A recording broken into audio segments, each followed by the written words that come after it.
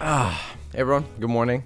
Today we're going to be reacting to the 10 stages of every scout main. Now, just to be clear, this is a video I had no say in. I just told uh, the God that he could make it and that I would support him. So this is going to be really interesting because this is a video that I wanted to make for a really long time, but I had no motivation to actually make because I just don't feel inspired from TF2 anymore. And I just want to watch this and support him and share my thoughts as well because I, have made three of these videos by now, so I understand the production process and I want to see uh, how, what he does, how he does it, and if he's done it well. So let's take a look. Play a lot of Dota though. Oh, yeah, until I stop playing Dota. Oh, this is my stream. Oh my god. I made to Look at me, that's fun, baby me. I'm just gonna, bro, I've kind of dropped it for TF2. Honestly. Oh. Okay, well, first of all, the fact that he put it into his video at the start is really nice of him. He didn't have to, but he did. Uh, also for the song, everyone everyone asked about the song, and it's actually from Konosuba. It's if you go if you get the background music, it's called it's number two, and with these letters, uh, is, is that's the song. Ooh, okay. First of all, SFM poster is really nice, well lit, good posing. After making a lot of SFM posters, yeah, they give us Pyrovision goggles. That's the stereotypical stage one beginner noob thing, and I really like it. The Scout, being a lean, mm. mean killing machine, has a high tendency oh, to attract those flashbacks. who particularly enjoy seeing the Scout's high mobility and kill potential from YouTube videos. Yo, oh my god, what the- Holy Or because the random class and got Scout and opted to stick with him. Hmm. Okay, well, first of all, first stage, that was really nice first impressions. I liked it. During stage 2, the early scout mains have a high tendency to jump between other characters, seeing which ones are comfortable to play with and which ones aren't. They test to see if perhaps healing feels better to them. Maybe using projectiles as soldier or demo. Oh man, okay, first of all, I um one thing that I I did along with a lot of other people uh, that make these sort of videos is you can see at the top right, you would really get into the role of a terrible player. So you can see his name is Baby Player, and we just purposely get bad clips to show off, just like what he's doing right now. And it's just funny to see that everyone else does it. It's, it's, it's cool. May try sniping. Oh, okay, you can see at the top right, you actually got a headshot kill. So he cut that out and put this clip instead, which is just great. Oh, this is so good. Default, remove all your cosmetics. Love it. Couple of hours. Stage 3. Ooh, that's some nice volumetric lighting. Played for at least 50 or more hours and realizes that... I think that's, uh... Okay, never mind. Yes. Ooh, so all right. Okay, yeah. So I have, to, I have to go behind the enemy. All right, oh, I can do that. Yeah, no problem. Man, the acting, dude. Krom, you remind me so much of me when I made my first 10 stages. Oh, man. Just the act, trying to act like a player, like, ooh, okay, okay, okay. It's just so fun, and just you just take a piss with it and just go with it. It's great. Okay, I don't see anybody. Uh, let me. Oh, oh, okay, I found him, I found him, found him. Come, come, come here, come here. Oh, come on, come on, come on. Yes. Cool. Oh, but come on, come on, God, no, God, God. they were the infamous Gibus and had their profile pic set to that shitty overused picture of the scout. I'm behind the enemy, so I'll just real quick get rid of this sentry and then get rid of this salt. Mother. God, God, God. Damn it! God damn. Dude. That is an intense looking poster. I had to pause for a minute just because of how holy shit. I've never seen something so violent in like a whole week. Oh my god. Yo. I also noticed, um, at least in terms of YouTube, we didn't censor any of his swears, which is fine.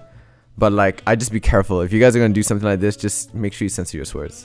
Many scout mains by this stage gain an increasingly high salt level. After playing the game for extremely slaty, and their poor skill on the scouts. Wow, I've never, I've never used that word them before. just having an off day. Pyro just has to WM1 all the goddamn time. Damn. Oh my fucking god, you're so fucking hacking. Stop, stop. Oh my stop fucking my god. become prone to rage quits and some. This is a really accurate representation of a scout main. Honestly, his his acting is 100%.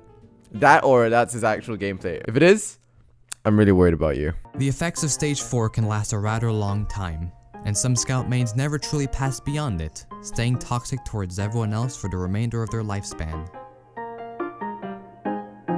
Stage Skunk. 5 starts Oh, I forgot about that. Oh my god. They become cocky, loud, arrogant, taunt after every kill, spam E in front of medics, take medkits in front of teammates that need them more, take level 1 teleporters, and are just assholes in general. Ooh. Dude, you can tell this comes from a really personal level. the things you're listing is just like, God, I hate scoutmates. These scouts are referred to as skunts by the community and tend to be looked down upon. Their hmm. accounts are just overall Oh, I love that IRL skit. That's so good. he misses the keys as well. That is perfect. What is that? Is that a Dell keyboard? Oh, that makes it so much better. And the lighting is, mm, okay, this is, I like this a lot. Stop! No with their bad usernames, usually involving either the Oh, Man, word cool I remember doing this. I'm such a nerd for SFM, but like the blur in his backgrounds are super nice, and the way he pans the camera is also really cool. By this point, the scout man has played the game for over 500 hours and realizes that they still have a lot of room for improvement. They may also start watching professional players to learn from them. Mm. True. oh, that is great. Oh, that is so good.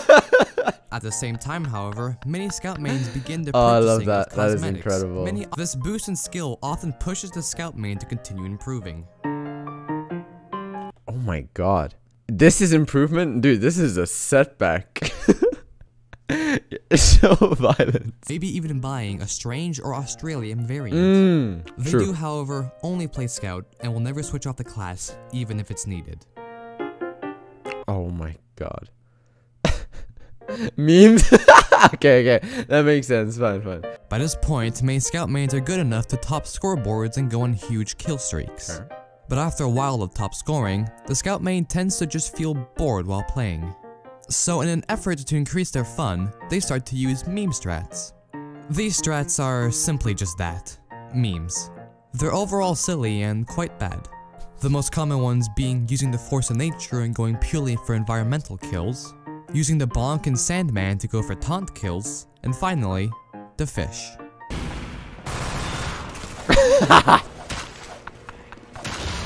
Oh, that's so great.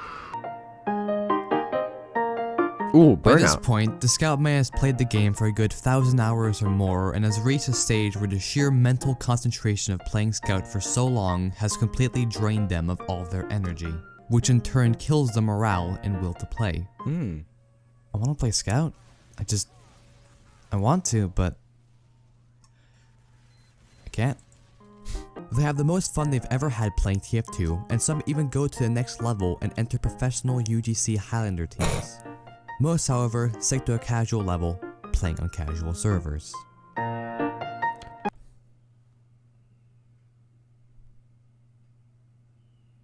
I'll, I'll just keep watching. Stage 10. You've made it. You've reached the top. You're the best scout you could ever possibly be. Does that mean you're the best player in the world? No. There's no way to calculate that. So here's a little uh, trickery thing. Maybe a little bit obvious to most of you, but you can see that he's joined a community server. He has 24 health, and it's just two um and his friend, and he's also in voice chat, and he's uh, muted it, and he's asking his friend like, "Hey, can you go shoot me behind?" I mean, of course, this is obviously planned, but it takes a lot of willpower and like time and a good friend to actually go through and do this with someone. So props to Krom for actually asking a friend to like, "Hey, shoot me," and get this footage. So yeah. They'll always find someone who's better than them. Mm. But that's the truth of any game. No one can truly be the best player. Thanks for watching. Oh, that was really well done. Okay, so my thoughts overall on the video. First of all, the production quality was great. Um, the microphone was awesome. The footage was great. It wasn't super grainy. Bitrate was fine. Overall, the text was great. I mean, sure, there are a few typos, but it happens, especially when you're making your first type of video like this. It's a big project to work on, so, you know, props to you, man. Only few things I would mention is that, yeah, what I learned uh, along the way when editing is uh, when you're blurring, it, it gets uh, really uncomfortable for a lot of people. So what you want to try and do is maybe lower the exposure of your TF2 footage. You can do that via Lumetri Color in Premiere Pro. And what that does is that it, it's still blurry, but it lowers the brightness. So it sort of just dulls everything down and your eyes don't hurt as much. Uh, I know Shounic does that a lot in his editing, which is, is, is really good as I matured with my editing, I'm not saying it's bad, but yeah, when it comes to swearing, I felt like Krom swore a lot, especially outside of the rage thing. I feel like he should have really kept it to salt. Um, maybe this is just my, my YouTuber brain, but when it comes to swearing, yeah, you gotta be really careful with that because YouTube will pick that up and they will make it harder for your video to grow. So if you're gonna swear, censor it. If you're not gonna swear, even better, leave the swearing for a specific moment in a video or just make it more rare throughout. This has been a great watch. it's really fun seeing someone go through the same process that I did making a 10 stages video. You can see his thought process and how he goes through it and it makes me feel like, uh, weirdly enough, like a father. Like I, I just made, like a fan came to me and asked if I want to do something. I let him and I get to see this as a result. And I just hope he does really well with this. Um, as much as I like to shit on the TF2 community, this is, this is a really nice feeling. And I, I'm so honored and I'm so proud of him for making something like this honestly man if you're watching this is incredible anyways that's it for today's video thank you so much for watching i hope you guys enjoyed um if you guys want to support this channel you can go to my patreon join my discord follow me on twitter or you can get your own merchandise i have this hoodie and this hoodie too it's really cool i like it. I think it's a really cool design. And this also has it on the back i like it a lot. And yeah i'll see you guys in the next video. Peace